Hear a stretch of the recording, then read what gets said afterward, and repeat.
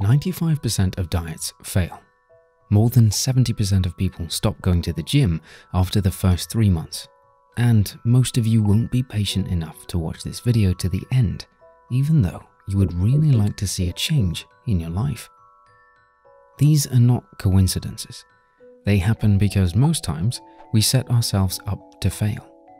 In the end, we simply conclude that our strategy isn't working. But have you ever stopped to think, why are there people who succeed despite using the same strategy? We have all been in situations when things are not working in our favor, but we don't really know why. Whether it's in your finances, relationship, business, or your career. Or maybe it is about your health. You might want to lose weight or gain some muscle. But no matter what strategy you try to implement, it always seems to fail, and you are back to square one to find a better strategy that will eventually work. When most people see statistics on dieting how 95% of diets fail, they instantly assume that there are 5% of diets that actually work. So they spend a lot of time trying to find a diet that falls into that 5% category. But this is a false assumption.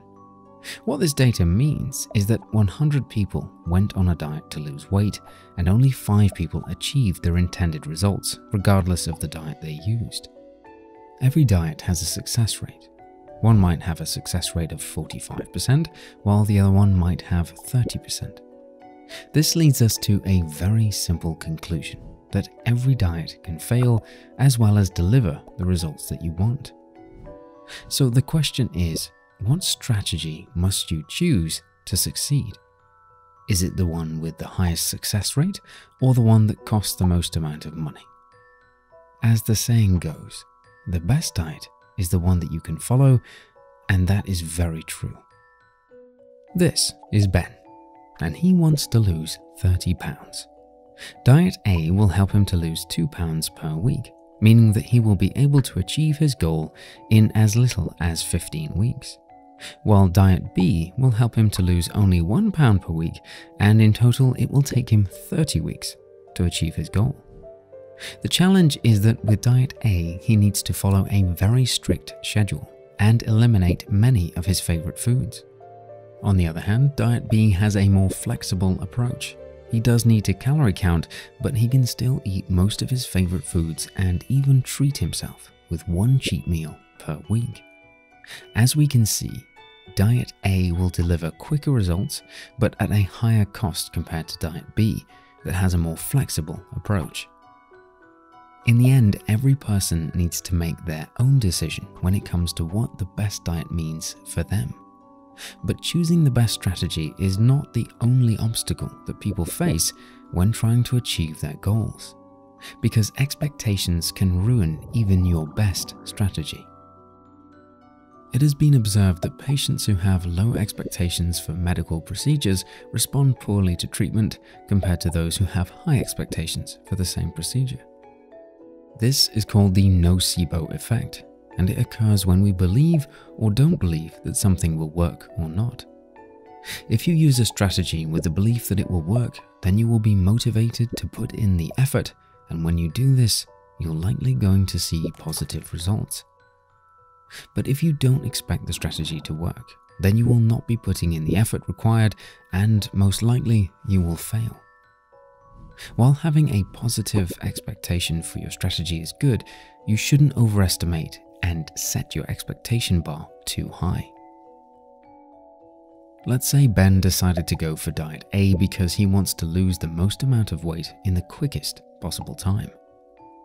Week 1 and 2 are great, he manages to stick with his diet and he is losing weight consistently. In week 3, he does exactly the same things, but he only manages to lose 1 pound instead of 2. This demotivates Ben and he decides to treat himself to his favorite dessert. In week 4, Ben's weight remains the same. This is a tipping point where he decides to quit and look for a strategy that will deliver more consistent results. In the end, it wasn't the strategy that failed Ben, but the strict expectations that he had set for himself. And when one strategy fails, we are quickly chasing the next best strategy and then the next one, and so on. We become chasers that are never satisfied with what we have at the moment because we hope that somewhere out there is one magic strategy that will work wonders for us. The reality, however, is that most of the strategies will work if you put in the effort and set the right expectations. When it comes to choosing the right strategy for you, whether it is to lose weight, learn a new skill, or make money, you don't need the best strategy, but you need the one that you can stick with and execute. So, instead of jumping from one strategy to another, stick to one that suits your current situation and lifestyle, as it will likely become an integral part of your life.